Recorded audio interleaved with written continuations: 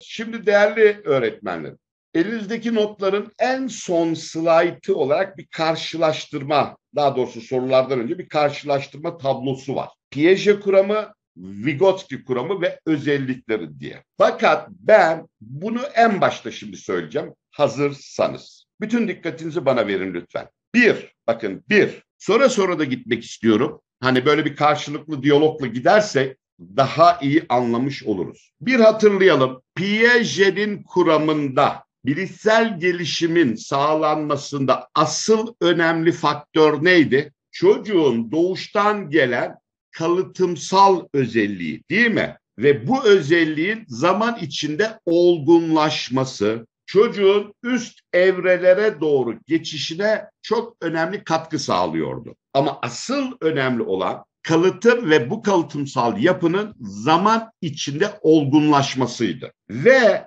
ne diyordu orada Piaget? Biz doğuştan iki temel değişmez işlev adını verdiğimiz biyolojik kökenli ve gelişimde önemli olan özellikten söz ediyordu. Evet, uyum sağlama, adaptasyon ve örgütleme. Şimdi birinci fark burada ortaya çıkıyor.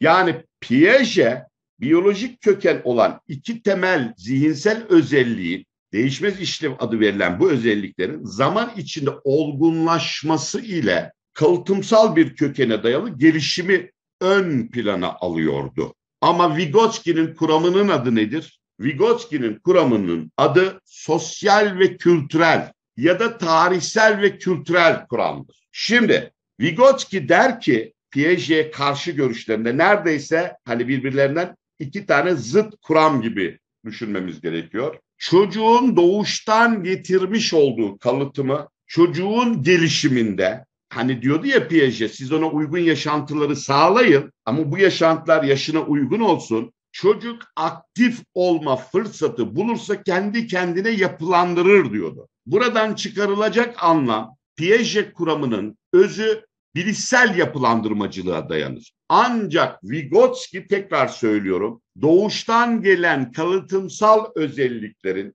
iki yaşa kadar çoğunlukla yeterli olduğunu, iki yaştan sonra artık yetmemeye başlayacağını söylüyor. Okul öncesi öğretmenlerim, görmek istiyorum sizleri. Üç yaştan itibaren nereye göndermek istiyoruz onları? Okul öncesi eğitime. Neden bunu yapmak istiyoruz? Çünkü siz onların gelişimine, belli becerileri edinmesine, sayı, renk, şekil, vücut dengesi, yani bilişsel, psikomotor, duysal becerilerine katkı sağlıyorsunuz ve çocuk bu şekilde daha çok gelişiyor. O halde çıkaracağımız ilk sonuç Piaget'e göre temel fark bilişsel gelişimde kalıtımdan daha çok sosyal ve kültürel çevre önemlidir. Birinci fark bu. Anlaştık mı değerli dostlar? Anlaştık mı? İkinciye geçiyorum.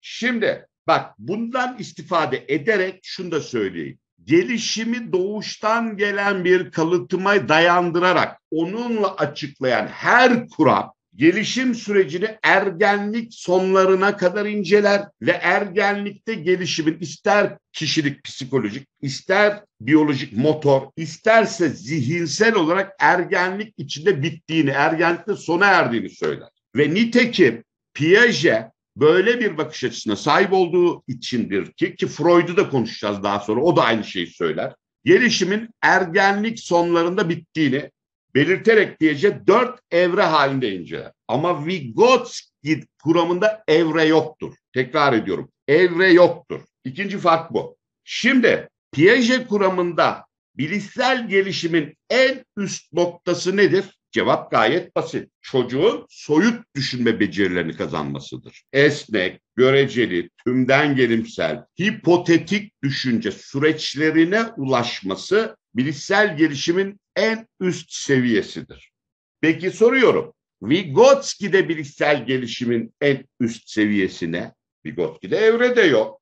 Lütfen şunu bilelim. Vygotsky'de bilişsel gelişimin en üst seviyesi çocuğun birilerinin yardımına ihtiyaç duymadan kendi kendine problem çözecek. Yani öğrenecek, anlayacak, verilen görevi yerine getirecek seviyeye gelmesidir. Yani artık yardıma ihtiyaç olmadan Örneğin kendi kendine ayakkabılarını bağlayacak, bisikleti sürecek, matematik işlemi yapacak. Örnek olarak söylüyorum. Kimsenin yardımına ihtiyaç olmadan bunları yapacak seviyeye gelmek Vygotsky kuramında en üst seviyedir. Bu da yine Piaget'den ayrışan bir diğer nokta. Daha sonra dil konusuna başladığımızda yine kıyaslama yapacağım. Merak etmeyin. Bakın lütfen dikkat edin. Piaget dilin çocuğun zihninin gelişmesine paralel ve ona bağlı olarak kendi kendine geliştiğini söyler. Yani dil gelişimi bilişsel gelişime bağlıdır Piaget'e. Oysa Vygotsky'de dil bilişsel gelişime katkı sağlar. Ne demeye çalışıyorum? Örneğin şu anda ben size öğretmeye çalıştığım kavramları dili kullanarak aktarmaya çalışıyorum. O zaman dil çocuğun anne babadan öğretmen, akran, abi, abladan bir araç olarak bir şeyleri öğrenmesine yardımcı olduğu için Vygotsky kuramında dil bilişsel gelişme katkı sağlar.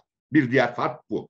Şimdi diğer bir farktan söz etmek istiyorum. Eğer Piaget'e göre çocuğun doğuştan gelen kalıtımının yani içsel biyolojik süreçlerinin gelişimde daha önemli olduğunu söylüyor isek Piaget kuramına göre bilişsel gelişimin kaynağı kimdir? Piaget görüşüne göre lütfen cevap verirseniz ara sıra çok mutlu olurum. Hani daha iyi anlayıp anlamadığınızı görmek istiyorum. Çocuğun kendisidir. Aferin, harikasınız. Yani gelişimin kaynağı çocuğun kendisi, kendi doğuştan getirdiği özellikle. Peki Vygotsky'ye göre bilişsel gelişimin kaynağı ne? Çocuğun kendinden çok demin sözünü ettiğim okul öncesi öğretmeni, akran, anne, baba, yetişkin yani sosyal ve kültürel çevredir. Sosyal kültürel çevre oldu mu? Yani çevreden ziyade sosyal kültürel çevre demenizi istiyorum. Diğer bir fark bu. Demek ki gelişimin kaynağı sosyal ve kültürel çevre. Şimdi bir şey daha söylemek istiyorum. Hatırlıyorsanız size bu nedir diye sormuştum. Hatırlıyorsunuz değil mi? Ve demiştim ki not almıştınız. Eğer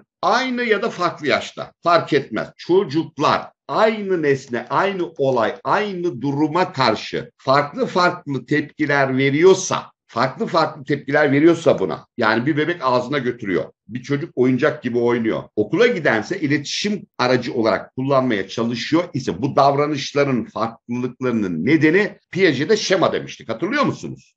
Şema demiştik, bilişsel yapı demiştik. Peki şimdi ben size sormak istiyorum arkadaşlar. Şimdiki bir yaşındaki, iki yaşındaki, üç yaşındaki çocuk bunu Allah'ın isterseniz ağzına mı götürüyor? Alo diyor mu? Ve hatta açıp internet oyun oynuyor mu? Evet. O zaman demek ki eğer çocuğa rehberlik edersek diyor Vygotsky aslında diyor çocuk yaşının beklenen davranışlarıyla sınırlı kalmaz daha üstünde becerileri edinebilir. Yani kendinin yaşından beklenin daha üstünde davranışlar sergiler diyor. Ha, o zaman bir şey söyleyelim. Bir bebek, bir çocuk bunu eline aldığında ben ona dersem ki yavrum senin yaşın küçük henüz telefon kullanmayı beceremezsin.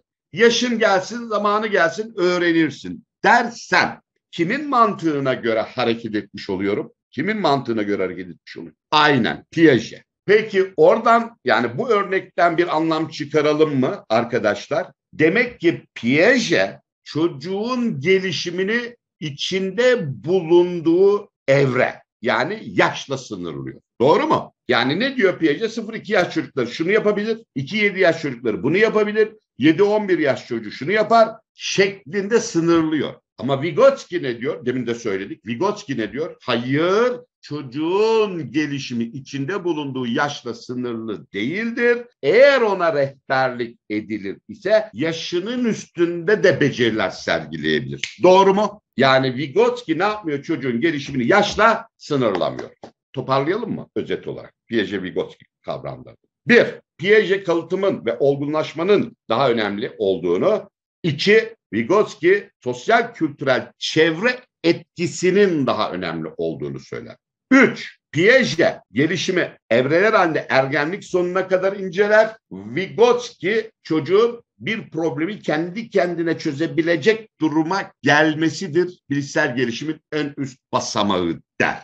Üç, Piaget çocuğun gelişimini içinde bulunduğu evre yaşla sınırlar. Vygotsky sınır koymaz. Üstünde de beceriler gösterebilir der. Dört ya da beş Piaget çocuğa sağlanacak yaşantıların o yaşla sınırlı kalmasını ama Vygotsky daha üstünde ona başarıp yapabileceği bir takım desteklerin sağlanmasını söyler. Piaget'e göre gelişimin kaynağı çocuğun kendisi, Vygotsky'ye göre sosyal, kültürel, çevre ve son olarak da Piaget'de dil bilişsel gelişime bağlı oluşur kendiliğinden. Oysa Vygotsky'de ise dil çocuğun bilişsel gelişimine katkı sağlar çünkü çok önemli bir aracıdır.